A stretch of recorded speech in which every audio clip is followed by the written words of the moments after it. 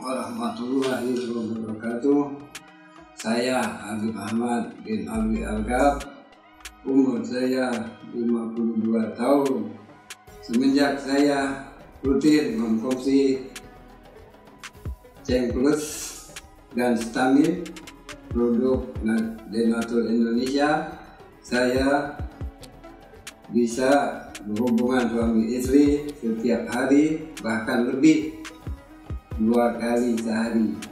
Ceng Plus dan Stamin bagus untuk stamina pria.